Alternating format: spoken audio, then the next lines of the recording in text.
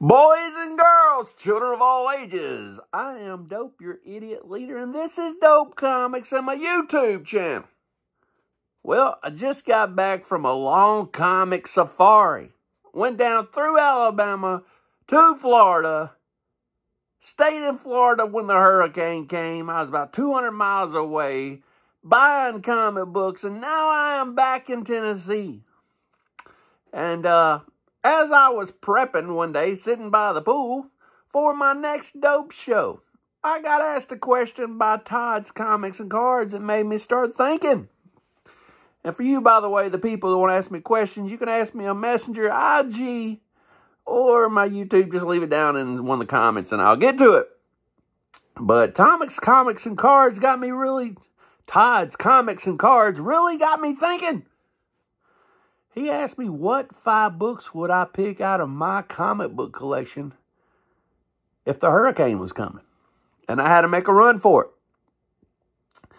And I thought about it. I had to stew upon it. Uh, do I go for my five most valuable books? Because uh, they would be hard to replace. Do I go for my five most rarest books? Because they would be hard to replace. Do I just get my five favorite books? Don't worry about value. Or do I just get the most sentimental books? There was lots of different ways to go, but today, today, we're going to answer what five books I would get out of my personal collection if a hurricane was coming and I could only save five. What five would it be? And I was like, uh, what direction do I want to go? And how real do I want to get with the public at Dopetopia? And uh, I always keep it real with you guys. So I'm going to keep it real today. The shit's getting real. Real. Uh, I'm usually on here having a lot of fun, but I'm going to tell you some personal stuff today. So, first of all, the five books I would keep. I have settled on five. And uh, let me just say, growing up, I was not a fan of Superman. Superman was perfect. He was a Boy Scout. He could outrun Flash. He was stronger than Hulk. He was perfect. But over time, I learned to appreciate Superman. Uh, when I became a father, and my son was six years old. He was diagnosed with diabetes 1, not 2, where you can... Uh, 2 is usually for overweight people, and you have a chance not to become a diabetic. But if you get diagnosed with, with uh, diabetes 1, you're usually skinny and your pancreas quits working. He was six years old when he was diagnosed. He's 13 now, and it has been a battle. And I try to be Superman now. Uh, I understand more about Superman now because Superman, I have found out Superman isn't perfect, but he strives to be perfect. And I strive to be the perfect dad. I strive to be the perfect husband. I strive to be the perfect employer. Uh, I, I strive to be the perfect person. If you're broke down on the side of the road, I, I will help you. Um,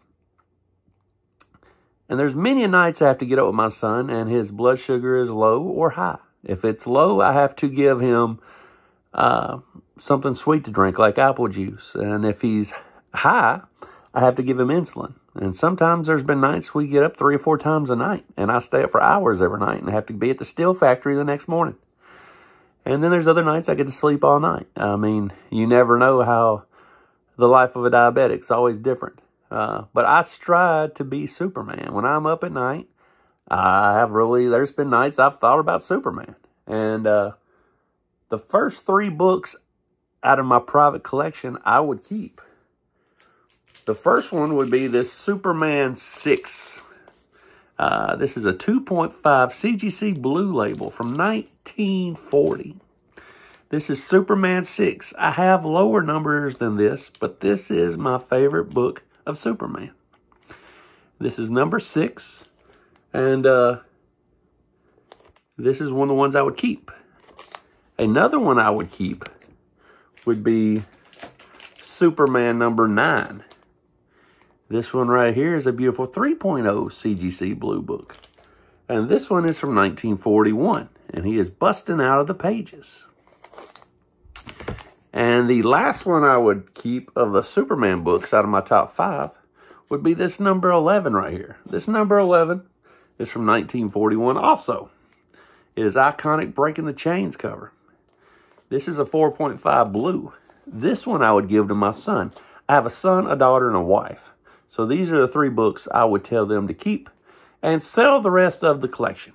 And each one would get one Superman book to remember their super dad by. This one would go to my youngest son with diabetes. Uh, the chains represent diabetes, and I would tell him to break through the chains and break through the diabetes and uh, live your life and don't let nothing hold you back. Uh, don't let diabetes hold you back. Don't let these chains hold you back. So this would go to my son. My daughter, which is older, would get number nine. She would get this one. She's fixing to be a nurse. She's going to nurse at school. I would tell her to break through the, just like this guy right here, Superman just broke through these pages. Just break through life the same way. Don't let nothing hold you back and you become anything you want.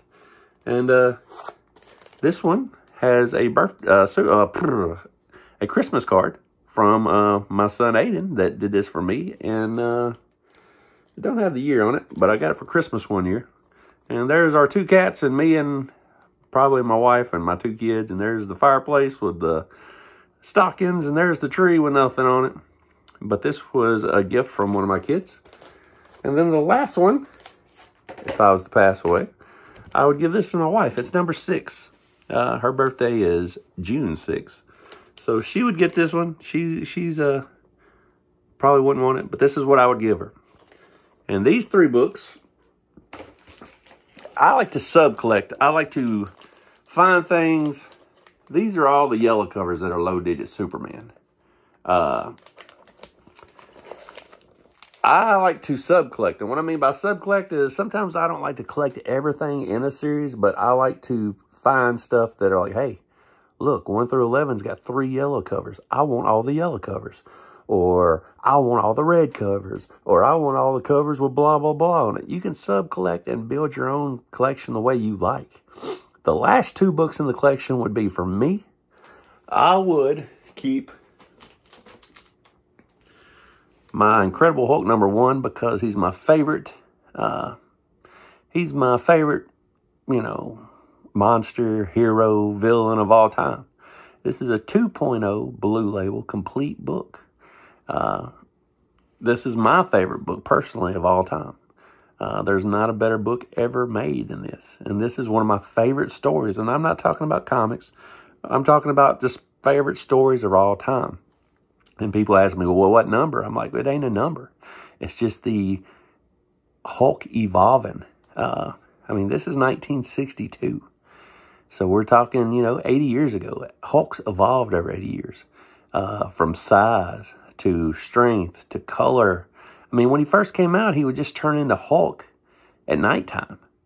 And, uh, you know, now he turns into Hulk every time he gets mad. I mean, it took him a while to, took Stan Lee and the people a while to redefine him and get him right and get the story right. And the story is still evolving today. But this is my favorite character. So this would be the fourth book I would keep uh, if I was grabbing five books in a hurricane.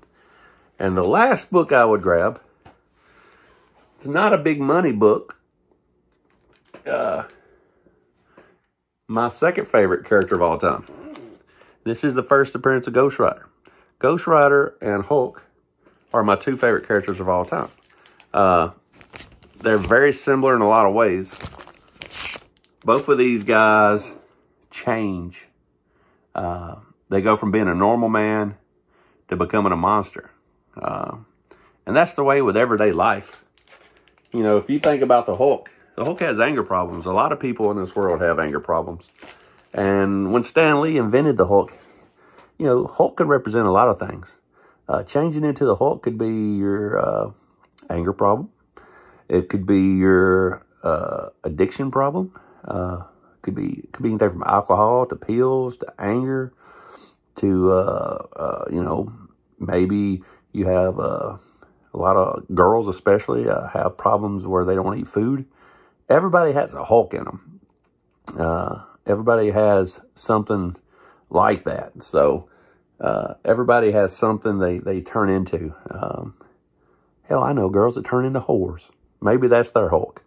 Uh, they regret it later and they cry and they got daddy issues, but everybody has some kind of Hulk in them, some kind of uh, another personality. You know, I always thought about as a kid when you got the little angel and the devil on your shoulders talking at each ear. You, everybody has personalities, the yin and the yang. Everybody has some kind of Hulk inside them. Uh, people that are schizophrenia depression, uh, that's Hulk. And so a lot of people can relate to Hulk. Ghost Rider's same way. Ghost Rider, you know, he wakes up, don't know how he got to where he's at, just like Hulk. Don't remember turning into the Ghost Rider. That's a lot of drunk people coming home from bars. They don't know what they, what kind of chaos they've caused, who they've killed on the road. Uh, a lot of people can relate, you know, to these two characters, and I can relate to these two characters. So, but anyway, I didn't want to depress you guys too much, but that is the top five books I would keep if a hurricane was coming. Hulk one, just because I love Hulk, he's my favorite character. I would keep this Ghost Rider 5.0 Blue Label because Ghost Rider is my second favorite character. And I would keep Superman 11, Superman 9, and Superman 6 for my kids. Because uh, I want them to have them when I'm gone. And uh, we're under 12 minutes. So until the next time, don't just collect your comics, read your comics.